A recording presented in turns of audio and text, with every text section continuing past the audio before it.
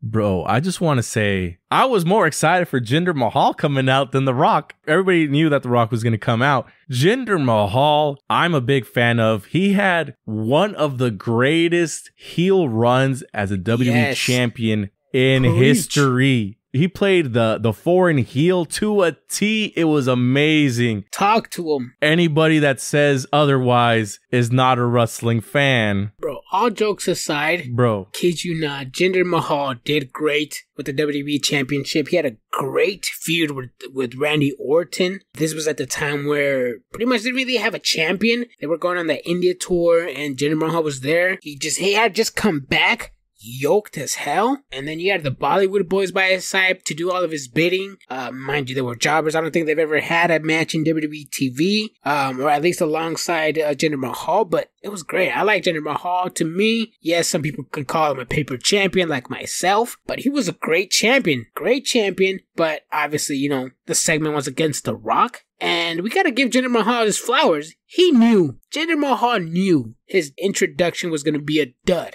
He knew fans were gonna get disappointed online, watching at home, and watching in attendance. Jinder Mahal knew the fans were gonna be disappointed, yet he decided to go out there and have a segment with the great one, the most electrifying man in all of sports entertainment, The Rock. And not anybody, I mean, who, who you who do you think would, would have taken that spot? Do you think somebody like uh Braun Strowman would have done that? He would have gotten buried. I'm sure he wouldn't have liked that. Jinder Mahal did the job and he did it very fucking well. But let's talk about The Rock. Go first. I want to still talk about Jinder Mahal, bro. Shit, that motherfucker looks like he could still. He deserves to be in the main event scene in WWE unless Yeah. he's injured. But that man's promo was really good. It drew heat. I mean, that's what you want as a heel. Perfect heel work, I would say.